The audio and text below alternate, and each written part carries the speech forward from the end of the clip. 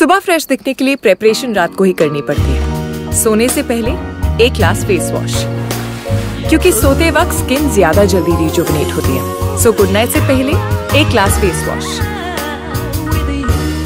Joy beautiful by nature